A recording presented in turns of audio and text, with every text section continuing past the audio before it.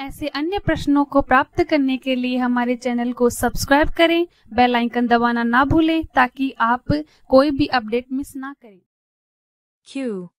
किसने गांधी के दांडी मार्च की तुलना श्री राम की लंका पौराणिक यात्रा से की थी? आंसर, मोतीलाल नेहरू।